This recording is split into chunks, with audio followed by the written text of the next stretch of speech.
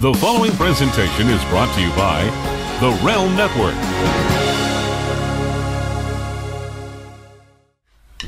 It's right about time again to swerve again, confuse the general fans again. Add another swerve and then. Oh shit! It's Vince Russo! Vince McMahon's best kept secret. I am the antichrist of professional wrestling. David Arquette won the world title. I've got a wife, three kids at home, and I really don't need this shit. How can this show be so awful, Mr. McMahon? I didn't think it was. Viagra on a pole match. And Hogan, you big bald son of a bitch, kiss my ass. Judy Bagwell on a forklift match. McMahon, the family, the Rock, they screwed us all. Now you're the editor, right? Mankind did it! Jumpy, jumpy, uh, beat me! Goldberg spear Russo on the cage. I'm from New York. I'll get downright nasty. This is Vince Russo's The Brand. Never had a conversation with this guy. The more and more I researched them, the more and more I got excited about this interview. I'm going to bring on the one and only, I guess I can call him the legendary Daniel Puder. Daniel, What's how happening, you brother? doing, my friend? What's going on? What's going on, bro? Freaking living in a storm in South Florida right now. This this stuff's crazy. Bro, where you? Yeah, my father's in Ocala, Florida. Where you living in Florida? Uh, Pompano Beach. Pompano Beach. Hey, you know, Daniel, I gotta tell you something, bro. I did a. I I I know about the legend of Daniel Puder, bro. I'm gonna come clean here on a couple of things. First of all, probably the guy that I'm tightest with out of everybody I've ever met in the wrestling business is Kurt Angle. That's number one. yes. Eh, so let, let, let, let me say that? that. Hold on. Who's that? Who's Yeah, that? Okay, so, so let me say that. That's number one. Daniel, Okay. let, let me say this, and you're not going to believe this, bro, but I got to come clean. I got to be honest here. Bro, having worked with Kurt, you know, I knew the story. I knew about Daniel Puder. I knew everything that happened. Bro, I never saw the footage till about five minutes ago. What? Are you serious? I am dead serious, bro. how he how I almost snapped him off in, in in in you know and made him feel bad. His little ego. Well, you know, Daniel, we're going to talk about that, bro. There- there's a lot of things. Uh, there's a lot of things we're going to talk. But I want to back up. I want to back up before we get to that inc- incident. Oh, bro, I like. Listen, bro. I think I think we got a lot in common, bro. I, am listening to Bob Holly. You're a you, you're a heat magnet. Kurt Angle can't stand your guts, bro. Here's another boy of mine. Here's a name that's going to ring a bell. You ready? Uh huh. bro, Kenny Bolin ripping Oh, all man. kinds of interview uh, promos on What you, is bro. up with that guy? That guy just stalks me everywhere. well, like Jim, It's unbelievable. yeah, he's your Jim Cornette to me, bro. Unbelievable. Well, but It's ridiculous. It's ridiculous. listen, with all due respect, Daniel, let, let, let's get this straight for with all due respect. Now, you heard my rant on Atlanta. I hate Atlanta. I have no problem saying that. But Daniel, I didn't go as far as saying, well, Atlanta wrestle, uh, wrestling cl- crowds consist of three people and they don't have many teeth. Did you make that statement about the wrestling crowds in Kentucky? Oh man, that was one interview way back then. I forget what I said specifically, but we were I was sitting in a car with a few people and they're they're laughing about it and they're making jokes. And so I they, they so I don't know if I came up with it or one of them, but it was it was uh it was pretty funny. Yeah, and, and Funnier, I'm working so much in Kentucky right now. It's Oh, ridiculous. I'm in Boone, I'm in Frankfort, I'm in uh I was just at Fort Knox with uh the two-star general there. And it's so funny because it was one of my favorite places to live, but I- cracking jokes, you know, you got to have some fun. Well, Daniel, I would have to think, bro, when you made that Kentucky uh, that that got my my buddy Kenny all upset, bro. I had to believe that had to bring on some kind of onslaught from uh, one James E. Cornette, did it? I, I don't remember what Cornette said. I don't think he said anything to me. But you, you know, at the end of the day, you got to have a little heat somewhere, and I didn't have any heat. So let's start. Let's let's, Well, let's start. bro, listen, you know, let's start ra- ramping it up. Daniel, there's a there's a little difference between a little heat and a lot of heat. I, I I'll be honest with you, bro. I didn't find anybody at the, on the internet that likes you. That's why I'm gonna like you, bro. I'm gonna go the other way, bro. I'm gonna be a fan of. Now, listen, I'm gonna have some explaining to do to Kurt, but bro, everything that I'm reading about you. I like about you. Here's what I like first about you, bro.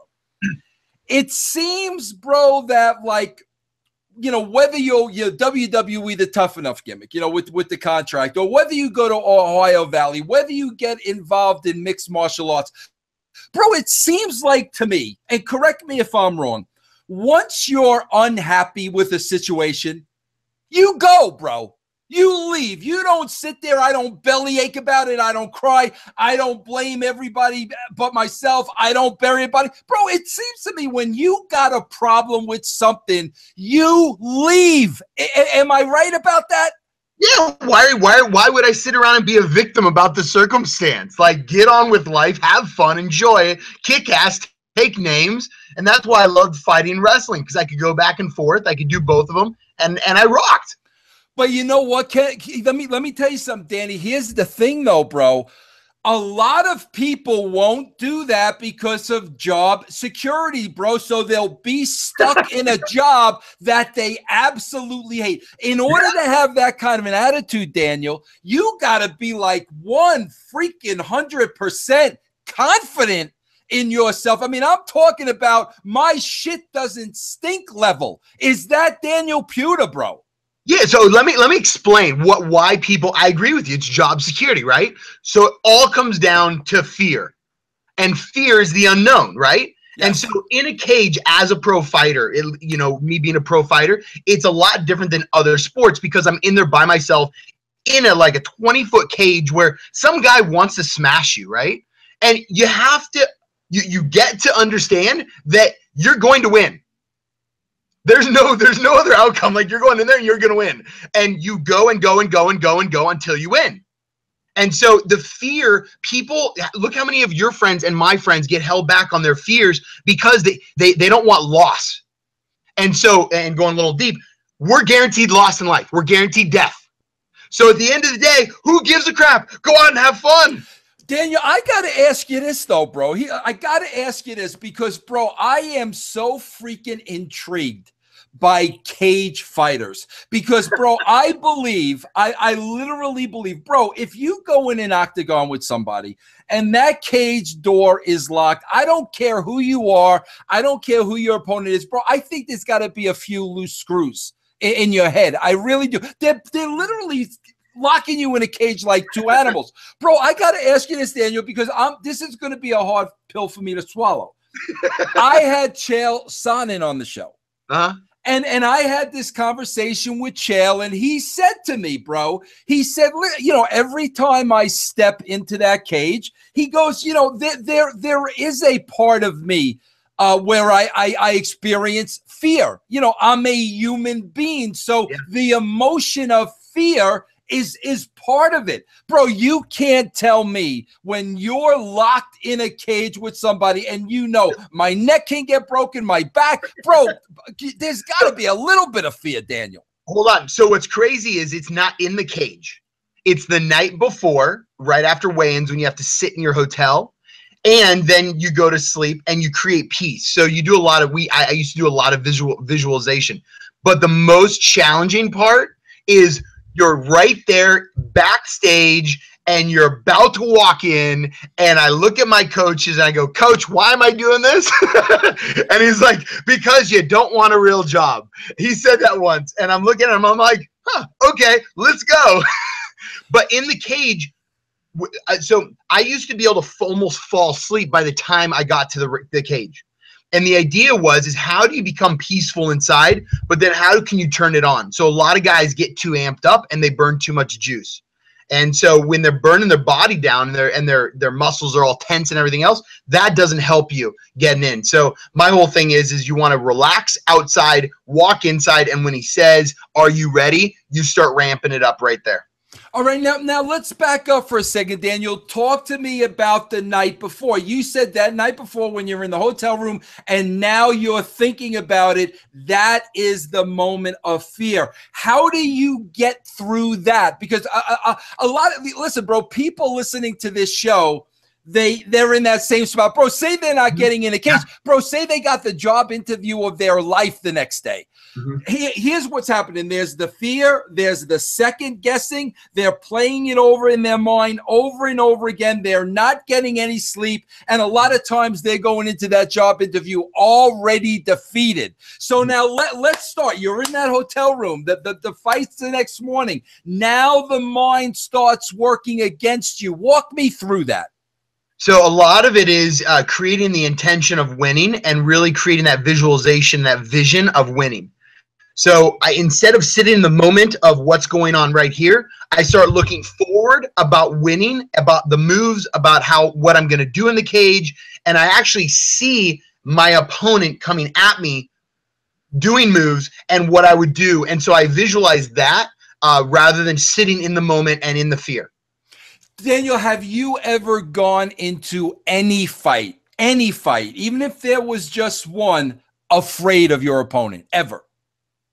Not afraid per se, not into the cage, uh, because I knew I train. I'll give you an example. I was driving down the 405 in Los Angeles one day, and my brother's a psychiatrist now. And he, uh, we get on the phone, and, and he's a Division One uh, rower at UC Berkeley. They have, you know, their team won national. He's he's a badass. And he said, uh, he goes, "How you doing?" I go, "Great." I go, "I'm going against, uh, you know, world champion kickboxer." And he goes, "How you feeling?" I go, "Man, I'm a little nervous." You know this guy's really freaking good. And he asked me he goes you've already trained with the best trainers and the best team in the world right? I mean i had Cain velasquez. I i had some amazing guys. And i go yeah. He goes so what are you worried about? Why don't you just go have fun because when you're having fun you know it's a fight or flight you know and it's a it's the victim or uh, you know the the what's going to hold you back or it's go into it with the intention of of understanding what you're able to do and, and that you're able to win and the, the possibilities are endless. And so you really start focusing definitely with the job market right? It's a lot of my friends go in and what they do is they interview but they don't ask questions so they don't walk in. A lot of my kids around the country that we work with with the nonprofit they they walk in they go then they just ask they just answer because they don't understand themselves. They don't understand their love languages their learning style their you know what to ask you know how would you mentor me in this relationship? Like so how do we get people to understand what their possibilities are and and how to get what they want out of life? Because sales is not um, the movie i forget the name of it where they sold a pen it's not about oh this is a pink or purple pen and it's a uh, mr sketch and this and that. What it is is it's about understanding the needs of the other person so one of my kids in Atlanta, which is funny, you brought up Atlanta. This kid, I walk into uh, Gwinnett Tech uh, College, and he has blonde hair, African American kid, great personality, and he goes, "I'm gonna go for a job next week." And I go, "Well, show up to the company. It's uh, DSW Shoes. Show up to the company an hour before and sweep their whole entire front of their company." Like show up and do something that nobody would ever else do because they're going to remember what you do and who you are for who you're being, not what you're doing the doingness is created by beingness so who are we being in our life as a fighter as a wrestler as a husband as a wife as a you know as a as a son or a father you know that sort of thing we're being loving or committed or whatever those things are to be able to create the outcomes of the doingness Daniel, listen, verify, verify, verify. You and I have never spoken before, right? we've never spoken at all your booker booked this whole thing Okay, now I want to ask you this, bro, because this is the vibe I'm getting from you right off the bat. I'm getting a vibe from you, very confident. Uh, will will back up his his mouth with action, but I'm also getting the vibe, bro, smart enough to be respectful. Like that story you just told me. Show up an hour earlier, do something. You know that that's uh, th- th- uh, you're a, you're a respectful guy. Am mm-hmm. I am I safe in saying that? very respectful All why right. didn't I, why didn't I whoop Kurt right after right when he was talking smack Before we get to Kurt, let me let me let me back it up for a minute. okay Bob Holly. all he lies why does he have to lie about me I know, well, let, let- let me ask you this. Let me ask you this, uh, Daniel, because a lot of people don't understand this. And bro, I'm going to be honest with you, bro. I always thought it was like kind of silly and stupid. And and like bro, quite frankly, like I knew like this isn't this wasn't the way in in professional locker rooms. Like if you were playing baseball or football, whatever, this isn't the way you conduct yourself, bro, but it's the oh it's the thing in in it's it's part of the law in wrestling well, the new guy goes to the locker room. You find the corner where nobody else is at. You you shut your mouth. You don't say a word. You freaking have to shake hands with everybody from from the top guy to the to the guy doing the catering. To me, to me, that was always effing ridiculous. I mean, yes, you need to respect everybody, but the fact that if you don't act a certain way, A through Z, now, now you got heat with people. So so Bob Holly like made it clear that that you weren't that guy. And and he he there according to him there was an issue with the way you carried yourself in the locker room. Now I got to ask you this, bro, because I know both sides of the fence. I'm talking to you. You're an intelligent guy. You're a smart guy. I think some of that wrestling locker room etiquette is is ridiculous. So so my my question is, bro, when you walked into that WWE locker room, do you think either A, ah, maybe I had a little bit of a chip on my shoulder, or B, those guys had it out for me from the get-go. What what what was your feeling the first time being a part of a WWE locker room? So starting tough enough the first day, as you probably saw, um, we walked in and the Big Show talked smack. Did you see that video? I, I didn't see it, but I heard all about it. And I'm standing on the left hand side of the Big Show, and he he tells one guy to get out and grabs his head and kind of tosses him. He looks at me, or he looks at Dan and stares him down. Dan didn't do anything. He looks at me and he slams me into the locker. This isn't pre-scripted. Like he literally slams me into a locker, and I'm looking there now there's a difference between like talking smack and and and being respectful and being disrespectful but at the end of the day he literally tossed me and then on top of that he grabs me and tosses me out not knowing this was going to come. This wasn't a work this was a straight shoot right? And so i'm standing there. If you look at people yeah you can be slunched over and, and slouch and and and this now or you can stand up straight you know, as a pro, as a fighter, I learned how to have proper posture. So there was no disrespect there.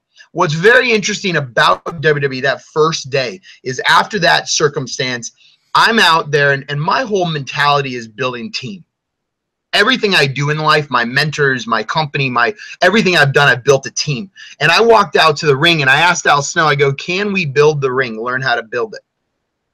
And so it's interesting on you look at different circumstances, and every single week, even after I won Tough Enough when I was on WWE, I went out and I worked with Chris on building the ring. And so it's that consistency. Now, on top of that, Bob Holly, I asked him to kick my ass every single week in the ring and work with me because I respected him because he was one of the toughest guys there. And I thanked him, and he bumped the living crap out of me every single week because I went out there and I found him and I asked him to do it. And so I had utmost respect until he lied, which is fine. That's his truth. You know, it, it's a lie to me. What, what's, his, what's the lie? Give me what's the lie? What he wrote in his book about, uh, you know, he, he was writing some stuff in his book. I heard it a while back, but I forget what he said now. But at the end of the day, I respected a lot of people. Um, uh, yeah, shaking hands, everything else. It was a different culture it wasn't that I didn't want to do it. It was that I didn't know what it was. Daniel, let me stop you there for a second. And Daniel, I hate to interrupt you, but you got to understand, bro. I got like ADD, so like if I don't ask you the question when it comes to yeah, me, I, I lose it. it.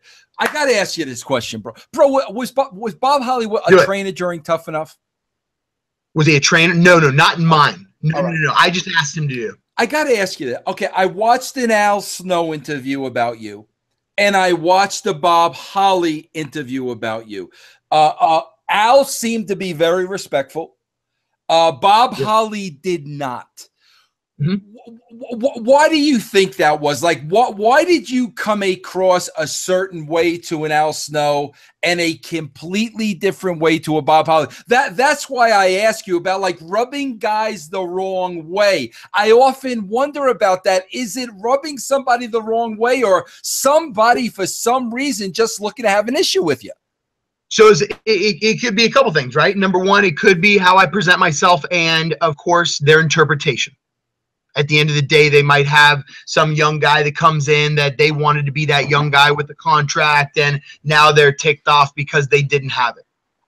You know, I was very respectful to everybody as far as I could reach. Um, you can ask every single one of my MMA coaches. You can ask my best friends. You can ask my enemies, which I don't think I have one. So, well, maybe Kurt Angle. Kurt Angle, Kenny Bolin, uh, the, Kenny- the city of Louisville. But go, go ahead, go ahead, bro.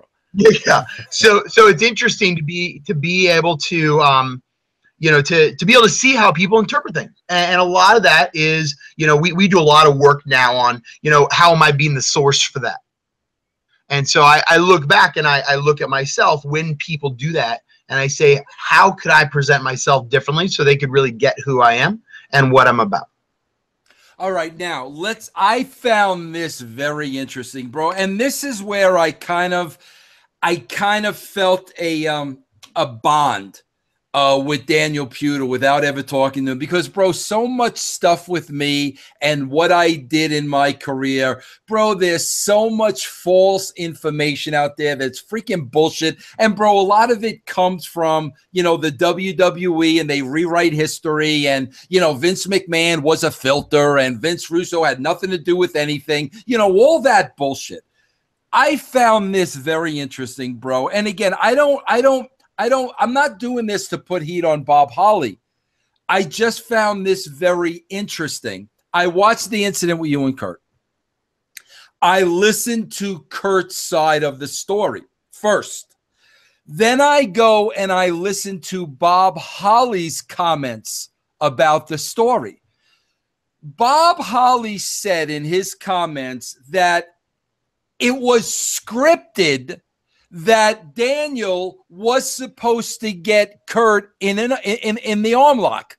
Okay, that that was scripted. That was supposed to happen, so it happened as scripted. Well, Kurt never said that.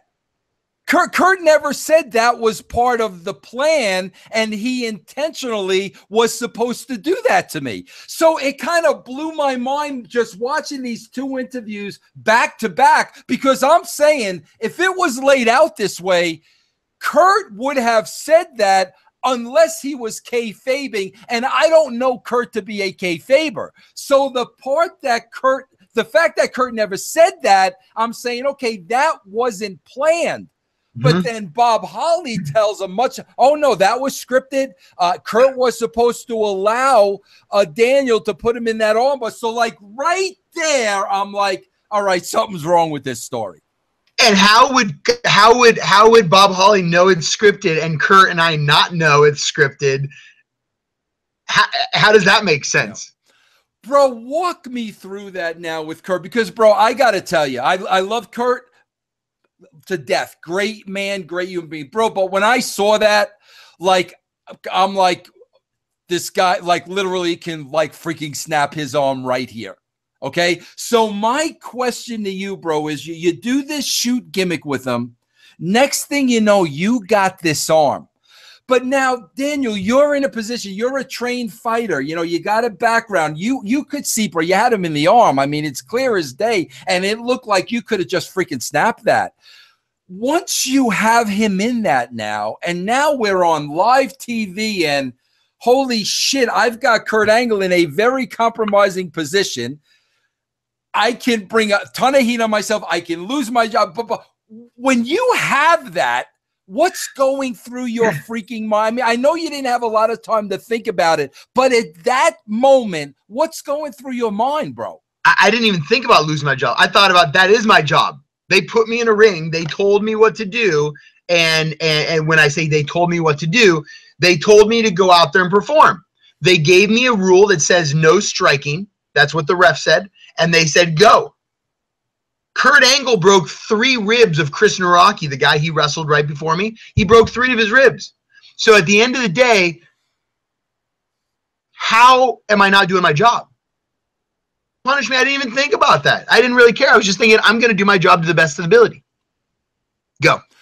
Now, Daniel, I gotta ask you this. So I'm watching this footage now, and listen, I, bro, I, whatever the story is to me and to the naked eye, it looked like you could have broke his arm. That's how it looked. But then, bro, the surprising thing was, you know, Korderas counts the three count. Bro, first of all, like Kurt, I, I didn't understand this, but Kurt was saying, and, and maybe it's just because I'm naive, but Kurt was saying, like in wrestling, that the, the referee just hits the mat once and it's over.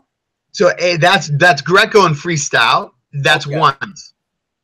Then uh, amateur wrestling or pro wrestling, it's three count. Then MMA, it's there is no count. You're on your back, and if I have control, there's no counting. I mean, there's no counting at all.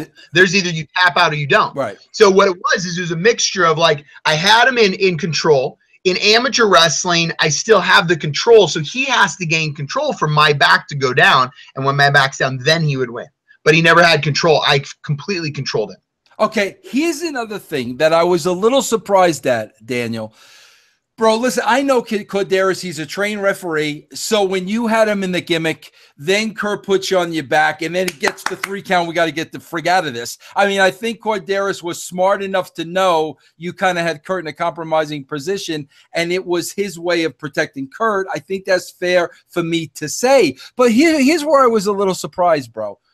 You let go right away like it's kind of like you know they got out of it with that with that one two three when your shoulders really weren't out of the mat but you let kurt go like immediately i would think bro that at that minute were you not a little pissed off or what's going through your mind at that count now when when korderas is counting and you know bro my shoulders ain't even on the mat I didn't know my shoulders weren't on the mat. Oh. so I was focusing on on on the move. So how one camera angle showed it, my shoulders weren't on the mat. The other camera angle, they were. So what I heard was um, Vince in the back gets on the mic and tells Korderas to tap me out um, because he he was like, "Holy crap, you're gonna break it." So you know, it is what it is. I, I just didn't know. Okay, now let's let, let let's let's walk through this. What what what did Kurt say to you immediately after? I don't remember the exact, but he was pissed. Okay. Yeah, and he said, he said, you know what, that's disrespectful or something like that. Get out of my ring. Okay. but I went, I went to go shake his hand too, Yeah. and he wouldn't shake my hand. Now, what about Vince in the back, bro? I, I I'd have. What about Vince and the boys in the back? Walk me through you walking in the back, bro. I don't think they understood what happened right then. Like, I don't think until it really aired on Tuesday, I don't think they got it. Like, I think a lot of the people thought it was a work. And then when it came out, they were like, holy crap, that wasn't a work. So I, I don't know. I didn't get any heat per se on that right but, away. But, but Vince knew it, it, it wasn't a work. Well, Vince knew it was, but he never came up to me and he he didn't do anything. Maybe he was a little scared that I would kick his ass. Now, let me ask you this. Well, well, Daniel. Okay. All right, Daniel, let me ask you this now. Okay. With that being said, Vince sitting there knowing this wasn't a work, this was a shoot. Okay. Here's the part I'm shocked about. If I was there and I knew that wasn't a work, it was a shoot, bro, we're booking that like immediately. Once once the word gets out on the internet, bro, Yeah. that why did not why didn't that get booked, bro?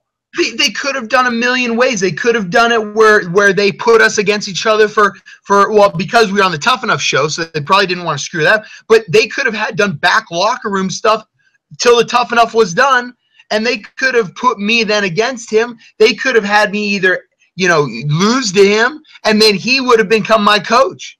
You know, and and it would have been great. They could have built me up. Why why not? Why not? I, I, I don't know. I so you know you know how it goes. Come on, you you've been around the world forever. You know you know how the writers come up Why with did stuff. you just call? Did you just call me old, Daniel? Did you just No, refer? I get it. I get it. No, but No, no, Daniel, see, but Daniel, hold on a minute. I have been, and that's why I'm saying right then and there that was money, bro. And you know the wrestling business, bro. That you know what. Money's money, and I mean, I just like why didn't Vince see those freaking dollar signs? What what on earth could have superseded that? I can't believe for a minute, you know, Kurt wouldn't have wanted to get in the ring with you. I think he would have. Why I can't believe that ball was dropped there, bro.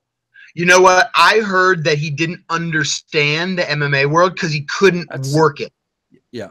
there was something so new because MMA wasn't big then. Oh, UFC wasn't big then. They didn't they didn't get it.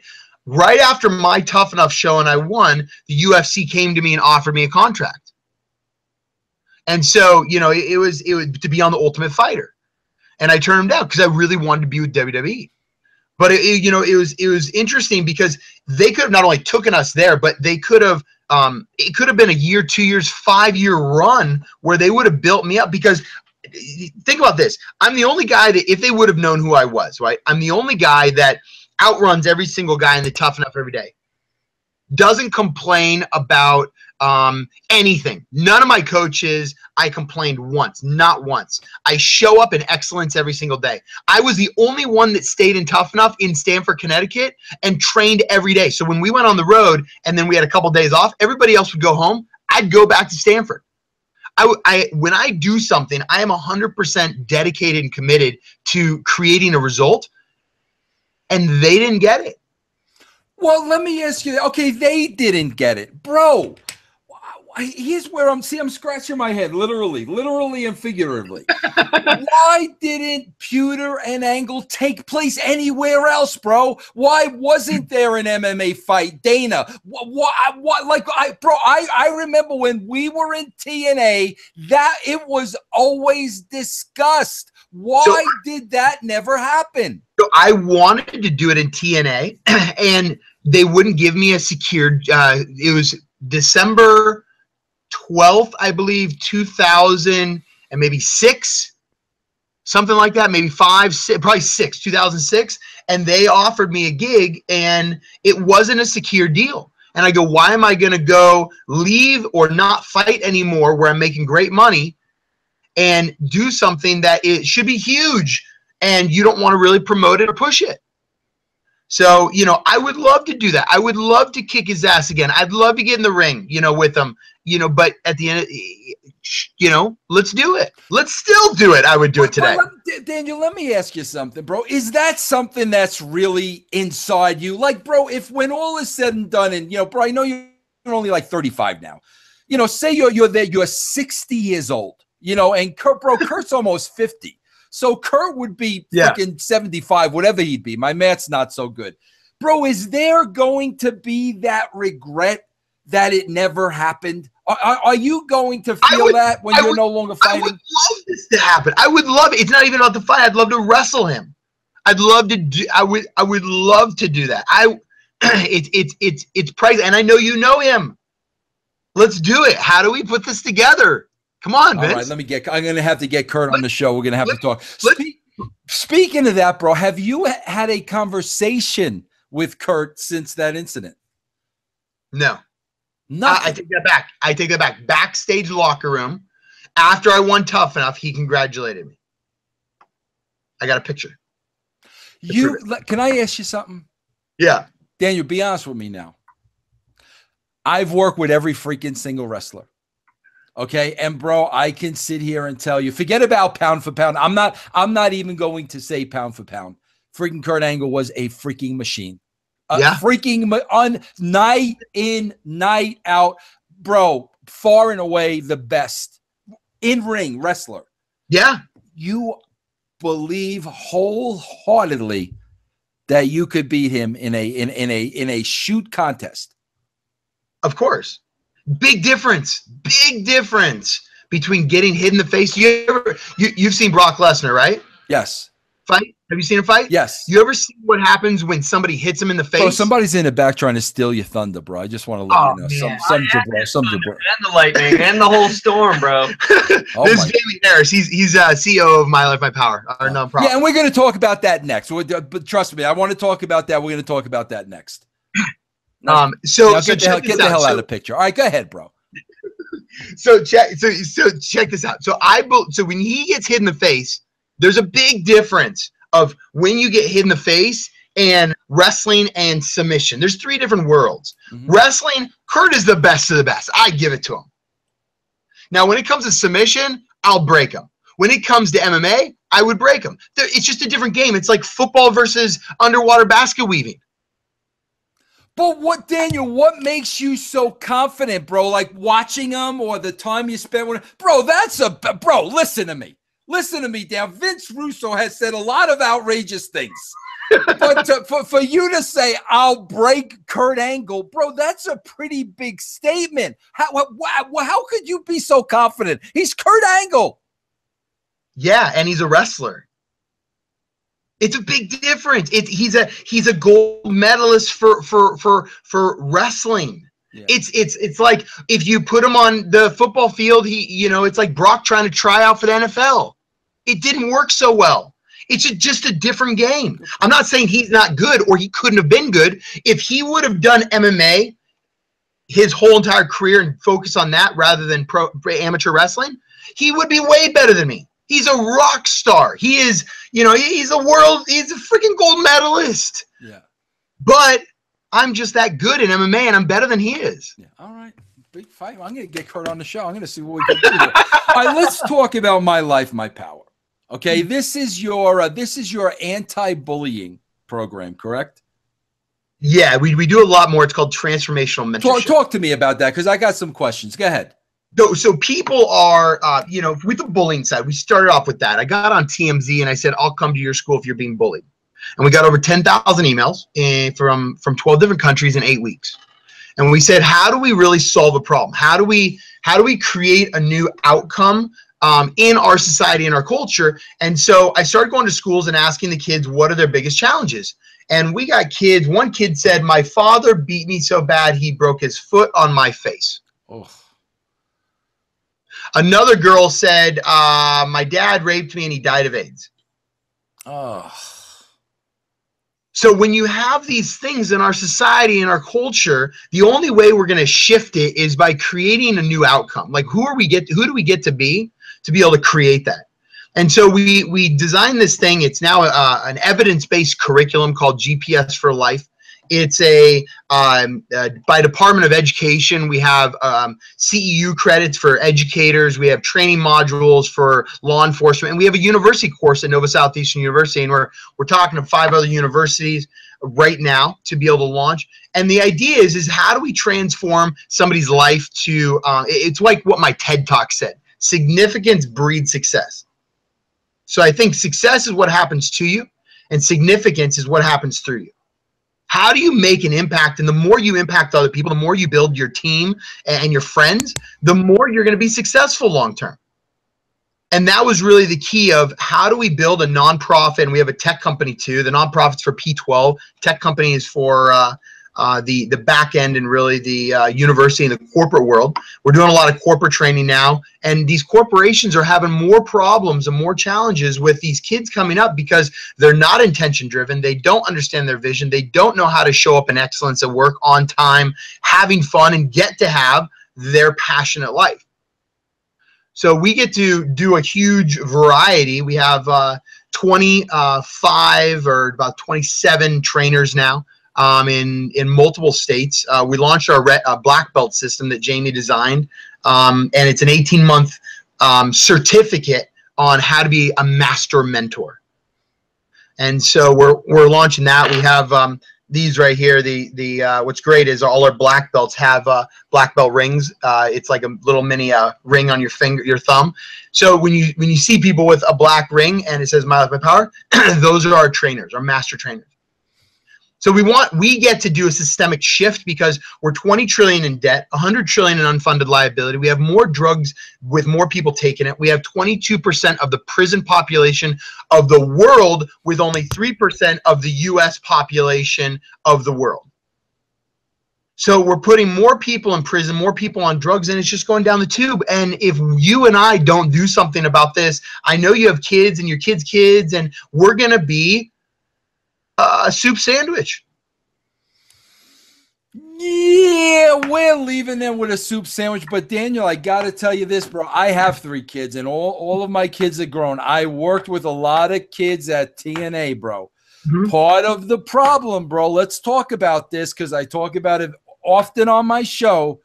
This generation today, bro, like it's generation me. It's a sense of freaking entitlement. Yeah. And nobody wants to work and nobody wants to pay their dues and everybody wants the shortcut and the easy way and their and things to be handed to them. How can you possibly, bro, change the mentality of the youth today because for some reason that's where their minds are at. Yeah, and they don't understand how to get what they want. So it's all about them, right? And so at some point, people either change for two reasons pain or pleasure. You're going to have so much pleasure doing something, you love to do it, and you want more somewhere else, or you get in such deep shi shit that you want to shift something. And so most people shift when they're in too much pain. So how do we so it's it's at different points for instance our university course I have kids come in they're on their cell phone they're sitting back they're you know da da da they come in 20 minutes late they're paying a dollar 15 per minute to be a part of this class. So if they're 20 minutes late on average they're spending 20 of them that's 40 minutes you know it's just 500 bucks per set. They just spent $500 I ask them for 500 bucks right there. So to be able to see Number one, they don't even understand. They're just showing up to show up because all they've been told, and this is where our parents come in. Hmm. Our parents blame them and shame them and tell them they're not good and put them down and say, don't do that. You're never going to be good at that. And they just say, now go to college. And, but they don't show them. Every kid, 90% of kids think that a piece of paper in life, a certificate, a college graduation, a high school graduation is going to get them somewhere. It's not. It's how you use it. It's a piece of paper to show that you showed up and done something and committed something and followed through. And so these kids don't understand that school is everything you learn in school, I can find on myself. Everything. Every piece of information, math, science, English, history. The idea is is how do we show them how to build relationships, how to understand themselves, how to show up in excellence, how to commit to their lives, how to be honest, how to be authentic, how to follow through and then how to build their team because the only way where you got and where I got is we built our team and our friends, right? Mm-hmm. Like without friends, you wouldn't have gotten to where you're at today. And so that's the key to be able to build it. Now, do you have to take care of yourself? Yes. But do you get to show up and, and be there for your friends and your team? 100%. Yeah. Daniel, let me ask you this. This is an important question, bro. I'm curious. I'm curious to hear your take on this. I know a lot of uh, my life, my power too. A lot of it has to do with, you know, kids that are bullied, anti bullying. Bro, how do you know, like, how, how do you know, like, how do you determine when to walk away and when to fight, bro? If if I'm that kid being bullied, bullied, bullied, bullied, and I'm trying to high road it, and I'm trying to walk away, and I'm trying to high road it, trying to walk away, that's not working. How do I know when you know what, bro? It's kind of time to stand up and throw, or do you never recommend that to anybody? So I, I don't think hurting other uh, other people are, uh, hurting somebody else is going to solve the problem that bully, and, this is what I was just with a kid about a week ago, 12 years old, and his whole thing was, uh, I have a bully in my class, and I go, let me let me break it down. That bully is being hurt by somebody else. Born, being hurt, pissed off. There's something that shifts their perception. It's all perception, right? Somebody shifts their perception. Somebody lets other people get them angry we have these buttons in life, right? We have a button here anger, pain, hurt, happiness. At the end of the day, you have to let somebody else take your power and you have to let them piss you off or let yourself really, it's letting yourself get pissed.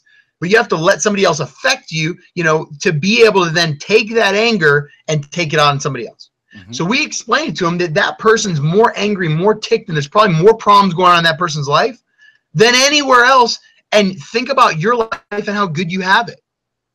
And so, how can you be a friend to that person? How can you build a relationship? How can you help somebody through a dark time and support them as a friend?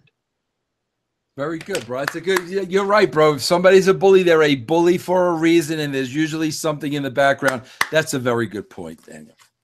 Now, Daniel, are you? Let me, let me ask you one more question. So, if let's say you know you got bullied and then let's say you defended yourself because they were pushing you or whatever right? So now you beat up somebody that's already hurt.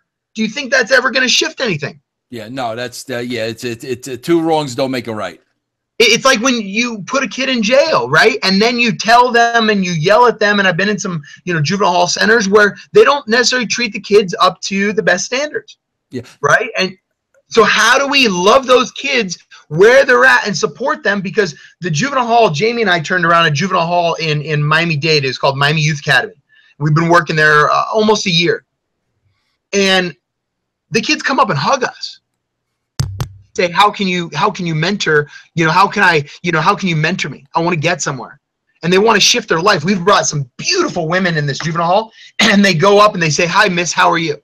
They're respectful because they understand the value of building relationships because we've shown them what the value is. You either build relationships or you don't. If you don't build relationships, do you think anybody's ever going to give, give a crap about you? So how do you build those things? How do you be respectful? Now, was it? Would you consider it a form of uh, bullying? Uh, with your references to the Kentucky wrestling crowds, uh, three people showed up and they had six teeth combined. Was that uh, bullying, Daniel? Yeah, that was that was a, that was that was entertainment. I mean, at the end of the day, you know, I mean, there, we, we say a lot of stuff in WWE. I I'm only kidding you, bro. Hey, Daniel, are you are you fighting anymore, bro? Are you active, no. actively fighting anymore at all? I'm not. I'm not. You know, I I I, I love pro wrestling. I'll, I'll, probably wrestle some more. Um, I would love to wrestle Kurt Angle as we as we mentioned. Um, fighting is, you know, I, I, it takes a lot of time to prepare, and I am so uh, entrenched in. I mean, I was just in D.C. I was in Kentucky last week. I'll be in San Diego this week. We're we're building, and I'm the CEO, so we're we're building such an amazing company with so many people that really are we're, we're shifting schools we're shifting families we're shifting communities on how we can create a different outcome and so that's my that's my number one priority yeah. Well, Daniel, listen, bro. It w- I'm I, I, like you, bro. Listen, I'm a fan of Daniel. I gotta. I'll tell Kurt, bro. I like the guy. I don't know, you know, bro. And I'm sure your attitude. I'm sure he likes you too. Knowing Kurt Angle and knowing that he likes somebody with a big set of pair of balls on him, I'm sure that's how he feels about you. Uh, bro, listen, if people want to find out more information about my life, my power, how do they do that, bro? How how could they become a part of this program? Yeah, it, you know, going to schools, corporations, uh, you know, universities. We're launching more university programs. Uh, go to mylifemypower.org and send us an email. Uh, or you can go to danielpuder.com and, and send us an email. But the the uh, My Life My Power side of it is is if if somebody wants to become a a mentor or or get mentored, you know um, th- there's there's a process for it it's how do we help them understand how to get mentored what kind of mentor to look for and so we have a we have an online curriculum now they can go through and they can start answering questions about their life and and figure out what they want yeah that's a great thing that you're doing, Daniel. And how can they contact you uh, individually? I know you got a Twitter account. You know, if somebody wants to send you a message, I mean, how can they get to you? Yeah, Twitter uh, at Daniel Puder, my uh, Facebook at Daniel Puder, LinkedIn at Daniel Puder, uh, MySpace. I don't even go there much anymore. That Daniel Puder. Um, and then there's another one, Instagram, Daniel Puder. Everything's Daniel Puder, P U D E R. All right, so Daniel, now if I could pull a couple of strings and get Kurt to come on my show, Kurt comes on my show quite a bit. You'll come on when Kurt's on, and we'll try to discuss this. Let's do All it. right, it's a deal. All right, listen, Daniel, thanks for uh, joining me today. My life, my power, bro. I, honestly, all kidding aside, I think that's a great cause, bro. And and here's what I love about it more than anything: the passion, the passion you're showing behind this. It's your heart in it. It sounds like this is your life's work, and uh, I applaud you for that, bro. I I applaud anybody who is who is dedicating their life to just making this a better place. Hey, I would love if you ever want to do a PSA for us. It'd be absolutely amazing. It'd be a blessing. I will be happy to do that for you, bro. That'd be great. Uh, as a matter of fact, I uh, I had to email you the address for this. Email me back. Tell me what I need to do. I would love to do that for you. Thank you, brother. Have an amazing week. Kick ass. I love your show. I appreciate you having me on. All right, there you go, everybody. The great, great Daniel Puder, and uh, you know, great guy, bro. Uh, I really enjoyed it. And listen, I know Kurt Angle and I know him well, and I know that Kurt Angle has to be a fan of this guy uh, because he's got that he's got that winning, never back down attitude. Check it out, my life, my power.